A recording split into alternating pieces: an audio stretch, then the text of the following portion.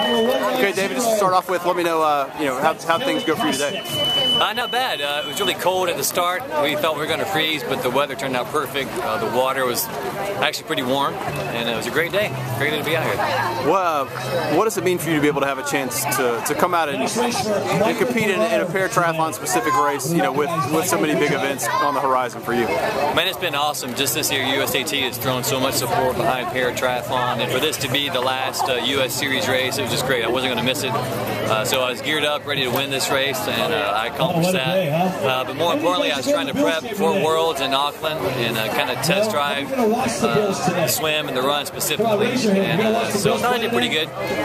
just trying to gear up, and it's competition's tough at Worlds, so the games getting harder and harder every year. So. Sure. What are your goals for those next two events? my goals for duathlon in Nancy next weekend is to win. I got silver last year, so hoping to uh, do one, one place better. Lost by about 30 seconds last year, so hoping to uh, win this year. And then in Auckland, uh, shooting for the gold. I mean, if I didn't think I could win gold in Auckland, I wouldn't go. Uh, so uh, looking forward to it.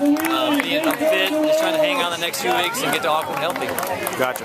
Um, and then just you know, for you, what does it mean uh, to see the sport kind of grow and take off like it has over these past couple of years? Man, it's, it's been awesome. I've been involved with para triathlon since 2004, and uh, it's been great to see the support, to see the public uh, be behind us as para triathletes, uh, to see the ITU and the U.S. Uh, Paralympics uh, and USAT especially get behind us. This has been awesome. so it's, it's so great to see people with dis dis different disabilities be out here and competing.